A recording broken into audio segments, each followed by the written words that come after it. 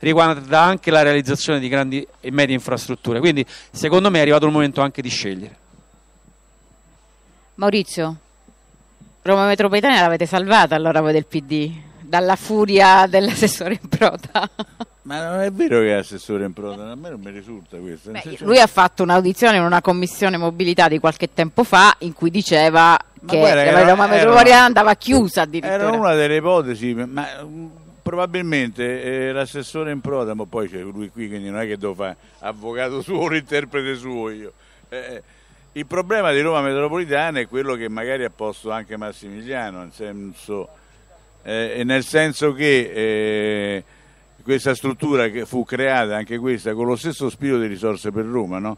per rendere più velocizzare e quindi eh, superare le lentezze della burocrazia comunale e quindi essere più spediti nella progettazione e nella risoluzione. Io ho fatto delle audizioni, come tu sai, sono presidente della commissione speciale, ho fatto delle audizioni, naturalmente e ti portano tutte le cartelle in ordine, nel senso otto mesi di ritardo perché è cambiata la legge dei vigili del fuoco che quindi l'autorizzazione, eh, un anno e mezzo di ritardo perché si sono trovati due reperti per cui la sovrintendenza eh, eh, bisognava deviare il progetto rispetto a... Eh, certo, rispetto a tutte queste tematiche, rispetto alla, alla lievitazione dei costi abnorme, Ecco, qualche problema ce lo siamo posti tutti come, maggior, come nuova maggioranza che si è insediata al Comune, avendo e sapendo di avere anche la responsabilità che non è che possiamo dire fermi tutti a Roma C si ferma dove sta, perché sennò sarebbe il fallimento eh, più totale, diciamo così, e del progetto e della città e complessivamente eh, dell'amministrazione. Quindi eh, con oculatezza Roma, C ha una grande, eh, Roma Metropolitana ha una grande professionalità al proprio interno, eh, penso che l'assessorato e la maggioranza vogliono rimettere mano sugli assetti una volta approvato diciamo così, eh, il bilancio in corso e Roma, Roma Metropolitana dovrà svolgere quella funzione eff effettiva, efficace per cui è stata creata a suo tempo e deve controllare meglio e più approfonditamente i costi di gestione ecco. che si sono sviluppati fino, a, fino adesso. Quindi questo è l'impegno che abbiamo come maggioranza, assumiamo diciamo, di fronte alla città perché sennò sarebbe... Quindi il PD ha salvato Roma Metropolitana, quindi già questa è una notizia. No, eh, una cosa velocissima su Roma Metropolitane perché eh, insomma io ti ho attribuito una cosa che tu hai smentito no, e quindi... Ma e quindi, no, ma poi voglio sapere, eh, però velocissimi, veramente se no non abbiamo il tempo perché mi dicono che dobbiamo chiudere. Eh, io voglio sapere, eh, si fa un, un gran continua a farsi un gran parlare dopo questa roba di metropolitane della privatizzazione di Atac una volta che verrà risanata, ok? Quindi dell'ingresso dei privati, eccetera. Qual è il tuo progetto? Su questa roba qui, cioè se i privati sono una specie di diavolo da allontanare con tutte le forze oppure se possono una volta messa in sesto, rimesso in sesto l'ATAC come sta tentando di fare Broggi, si può anche parlare di un ingresso dei privati e con che quote, veloce eh, però, e con che quote e se il controllo comunque rimarrà pubblico e con chi. E, e poi una roba su metropolitane e soprattutto dimmi quali sono i tempi per arrivare perché la metro C arrivi a Piazza Venezia?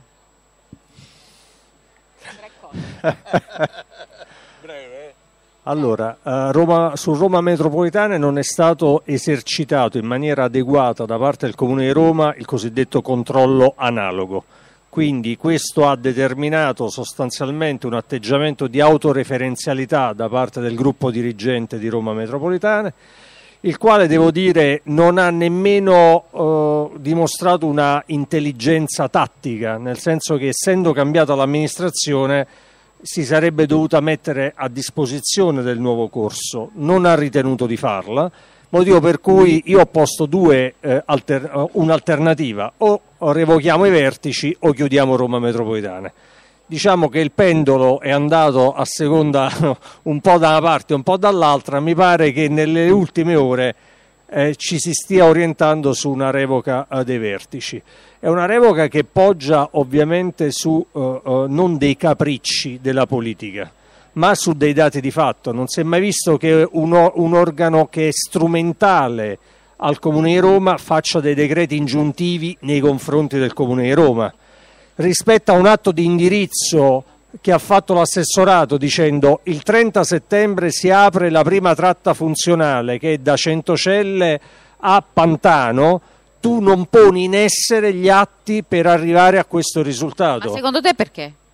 Ma perché la gente è matta, ci sta pure questo, eh? Eh, perché eh, poi alla fine non, è, non sempre c'è la logica, eh? non sempre c'è il malaffare e comunque non spetta a me andare a, scofa, a scovare il malaffare. Io prendo atto che rispetto a, delle, eh, dire, a degli atti che abbiamo posto in essere, abbiamo aspettato un anno, abbiamo creato le condizioni con un accordo attuativo che ci ha rovinato tutta l'estate eh, 2000, eh, 2013 e ha chiaramente turbato anche... Anche grazie alla tua anche, ex collega Morgante. Anche i sonni, i sonni del, delle imprese eh, subappaltatrici. È chiaro che noi siamo entrati con una, con una molteplicità di problemi.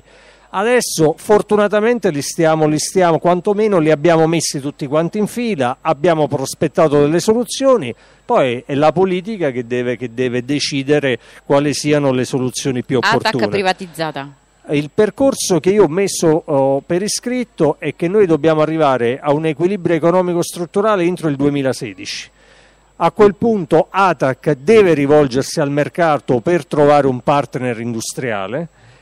Eh, e questo lo deve fare nella finestra temporale 2017-2019 perché nel 2019 l'Unione Europea ci dice che noi dobbiamo liberalizzare il servizio, per cui noi dobbiamo creare le condizioni perché il tempo che ci abbiamo davanti lo dobbiamo sfruttare da un lato per risanare e rilanciare l'azienda di trasporto, a quel punto eh, eh, renderla eh, appetibile per un partner industriale, che sia italiano come può essere il gruppo Ferrovie dello Stato o che sia francese, tedesco o di altra nazione, poco ci importa. A noi non ci interessa chi eroga il servizio, a noi ci interessa che al cittadino di Roma sia, eh, possa godere di un servizio più Quindi qualificato. Il controllo pubblico, sempre. Ma uh, il controllo lo, fa attraver- lo fai attraverso il contratto di servizio, perché comunque parliamo di un servizio che dovrà essere sovvenzionato da risorse pubbliche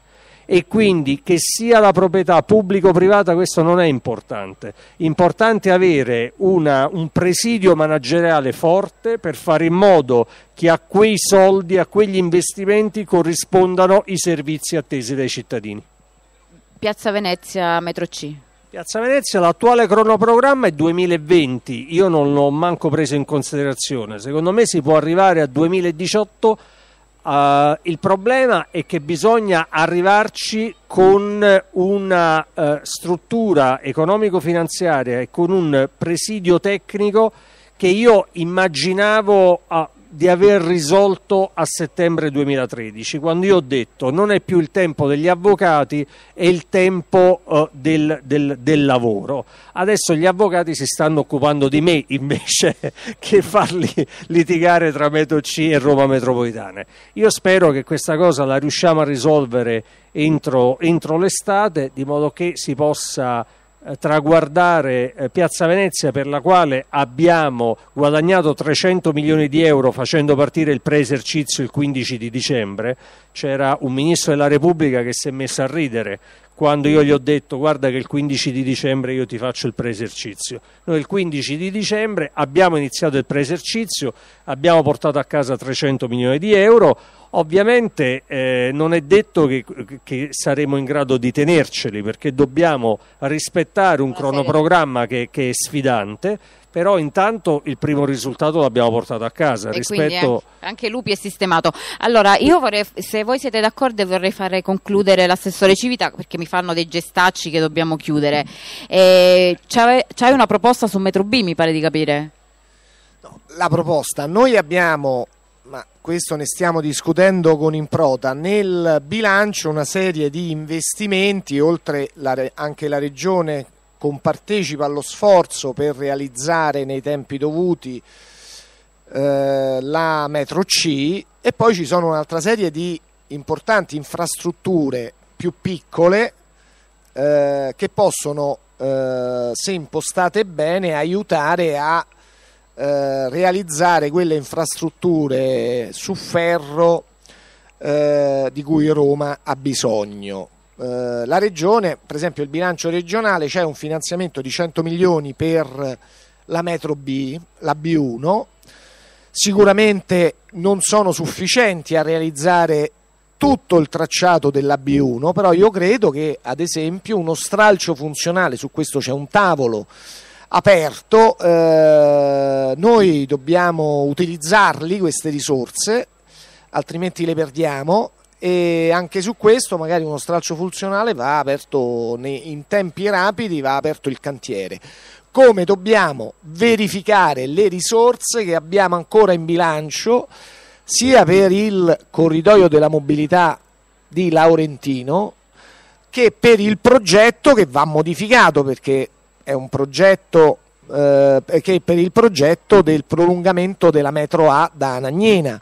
Progetto, le risorse che ci hanno lasciato è non per il prolungamento della metro A ma per praticamente un tram che costa come una metro, quindi insomma, un'opera che è sbagliata eh, anche per il Ministero dei Trasporti, lo stesso Ministero dal nostro stesso giudizio, che eh, Alemanno e la Polverini volevano far andare verso la Tuscolana. Noi invece vorremmo utilizzare le risorse per prolungare, contribuire a prolungare la metro A così come prevede il nuovo piano regolatore del Comune di Roma. Sulla prima questione, secondo me è possibile in tempi ragionevoli, cioè alcuni mesi, a fare un accordo tra il Comune e la Regione, sbloccare i 100 milioni e, e realizzare un tratto della metro B che comunque eh, parliamo eh, può servire eh, decine e decine di migliaia di cittadini di Roma, parliamo della Tiburtina, quindi uno stralcio, un prolungamento ulteriore della metro B. Poi il resto poi si vedrà, lo vedremo dopo. Invece sugli altri due eh, stiamo studiando come poter utilizzare nel modo migliore le risorse che ci stanno, sono importanti risorse pubbliche e le risorse pubbliche sono sempre poche, quindi concertiamo presto eh, l'utilizzo di queste risorse per creare queste infrastrutture di cui Roma ha bisogno. Allora, possiamo dichiarare la pace tra Improta e Civita stasera? Eh? Perfetto, grazie a tutti, buonanotte.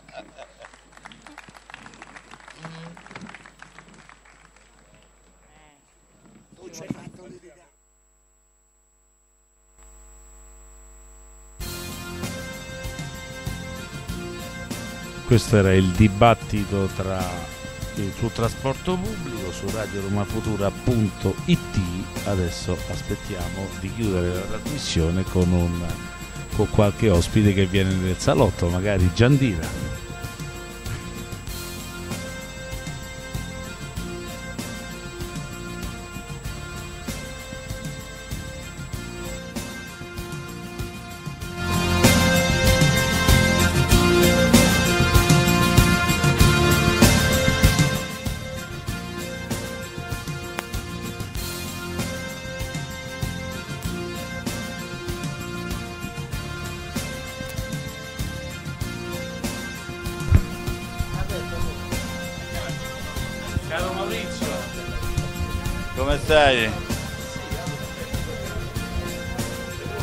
Pronti?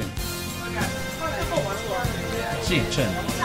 Allora, siamo di nuovo in diretta eh, su Radio Roma Futura, avete ascoltato il dibattito sul trasporto pubblico, ci ha raggiunto qui nel salotto della, della festa il consigliere comunale, presidente della commissione dei trasporti Maurizio Policano. Metro C. Metro C, perdonami, perdonami, hai ragione. Beh, per, sai, per, Vicepresidente della commissione mobilità. Allora, se ti vuoi accomodare, intanto aspettiamo anche il consigliere Valeriani che sta arrivando. Allora, io non ti faccio domande eh, riguardanti il, eh, il, dibattito perché abbiamo, i nostri ascoltatori hanno, vi hanno ascoltato e penso che hanno capito bene il messaggio. Ti volevo chiedere se ti piaceva la location della festa e come, come era stata strutturata. Beh, eh, rispetto all'anno scorso secondo me è molto valida. Intanto ritorniamo vicino a Caracalla che era il posto tradizionale di questa festa e, francamente a me l'altro anno la location vicino a San Paolo non mi aveva soddisfatto, mm. non mi era piaciuto. Qui fra l'altro anche in questo habitat eh, eh,